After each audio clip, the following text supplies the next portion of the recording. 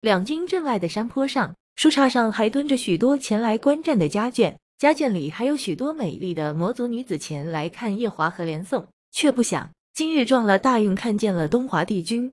东华帝君却如传说里的一样高贵俊美，却也真如冰一样冷傲。可冷傲的帝君对那个在他们看来不过是没长开的小丫头极是温柔。人群里有人低语，传言东华帝君曾为她抢亲。山坡间顿时一片唏嘘之声，唏嘘声也有远远躲在山后的旭阳魔君。他看着帝君给绑头发的女子，不过是个小丫头，哪里就如自己妹子那样文雅、温柔、漂亮？若是说女子的妩媚姬横远上他一筹。可东华帝君怎么就看不上他了？忽然想起他故去的老爹在临死前还娶了一个两万岁的丫头，他想或许帝君却如属下戏言，老牛爱啃嫩草，可妹子也不大啊。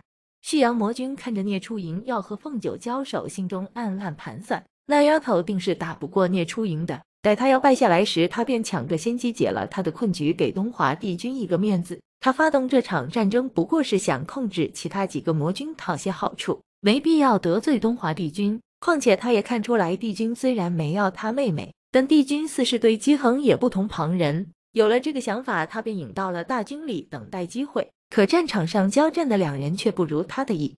我手执鼓鼓打造的陶铸剑已经和聂初赢过了七八招，他的法力的确在我之上。好在我先有流光哥哥指导，又有帝君亲自传授剑法，所以我出剑诡谲，他一时间很难猜到我的路子。并没有得手的机会，可这样下去，待我体力不支，稍有不慎，他的长剑就会扫过我的喉咙。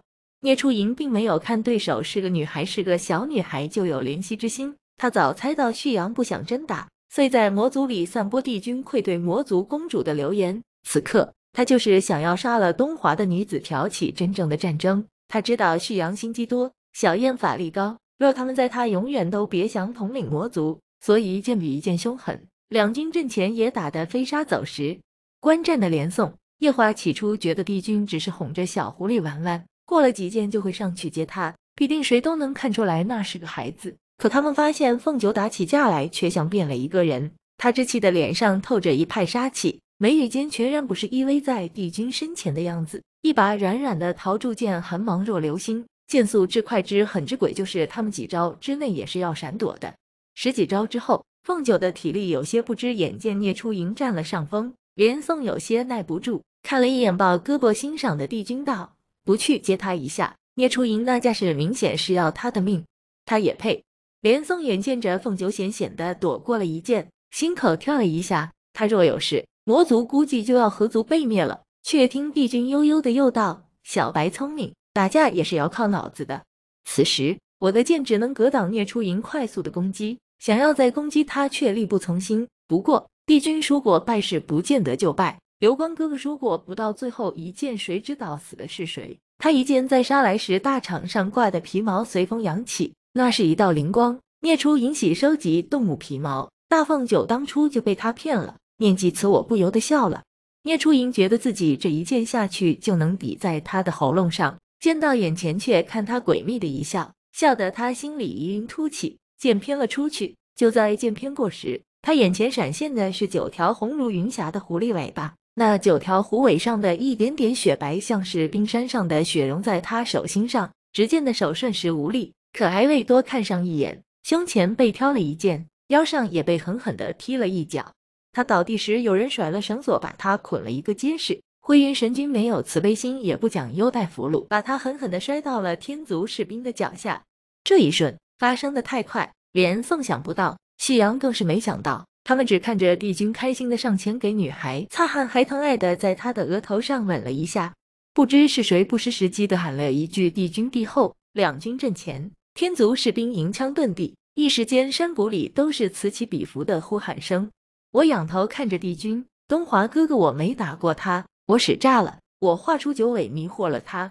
兵不厌诈，打架也拼计谋。我的小白聪慧。你打过他了，那我没给你丢脸，我能保护你，你为我骄傲。其实不用帝君回答，我看着东华哥哥眼里的喜爱，就知道他甚是骄傲自己的小娇妻能打能杀能文能武。我还陶醉在自我的满足之中，就听小燕大骂了一句废物。他抡着铁剑走过来说：“臭冰块脸，他不代表魔族，老子跟你打。”帝君轻松答应小燕和他打架时，我是不同意的。他的秋水毒还未痊愈，况且我猜测帝君昨日定是耗费了许多体力，这时和小燕打架很吃亏。我看向一边的灰云神君，叫灰云陪他打吧。帝君手指弹过我的鼻子，逗我：“怎么，你怕夫君没有体力做紫薯饼？”东华哥哥，你正经一点，这可是战场。帝君看着小白关切的眼神，勾起唇角道：“你不是想看我打架？话是说给凤九听的。但帝君是真的想和小燕打架，因为他刚才看小白打架时，就被他在战场上的风姿惊艳了一次。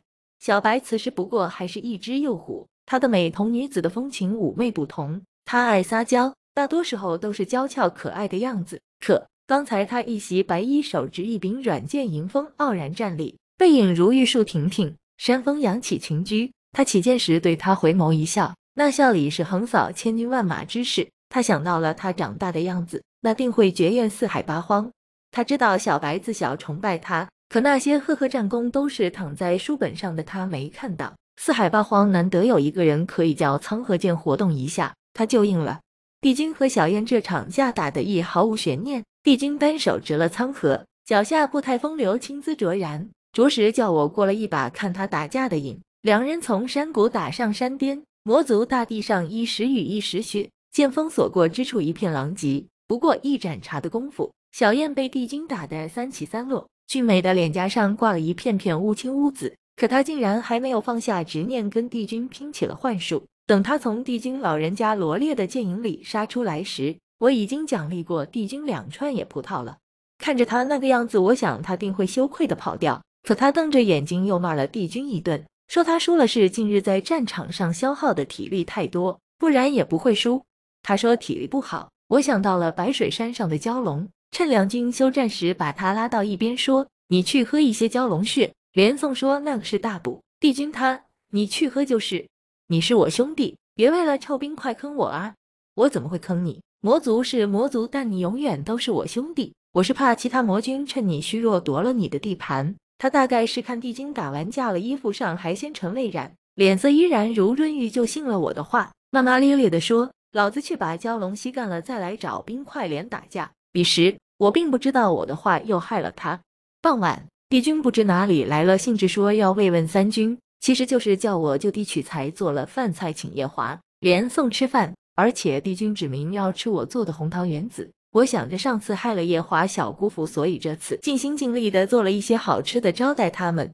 席间，狡猾的三殿下看夜华，帝君吃他才吃，他和帝君一样，尤其爱吃红糖圆子。不过我看他吃一碗红糖圆子，东华哥哥的眼里就多一层笑意。回书屋前，帝君拍着他的肩说：“辛苦了。”是夜，我被连天的战鼓和嘶喊声吵醒。探出窗子看，圆月之下，魔族大地上烽烟四起，刀剑相撞之声随风迎面入耳。灰云飞身下树，我跑向慢悠悠溜达过来的灰云，问：“怎么了？”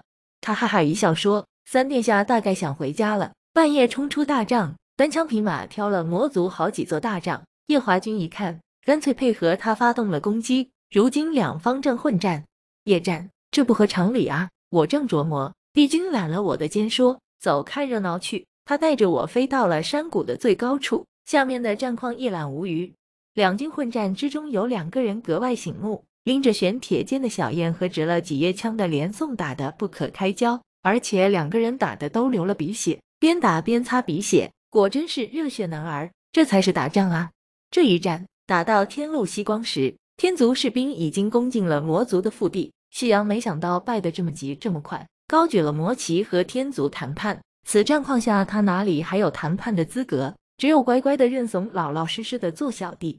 天君也是个会弄权术的，打了一顿后，又应了旭阳魔君求娶天族人的心愿，把他一个远方的表妹嫁给了旭阳。听说那个表妹跟天君甚是交好，天君对此战甚是满意，尤其对小儿子连宋的英勇杀敌满意。早前墨月羽化后，他就想叫连宋接了战神的位子，可他不肯。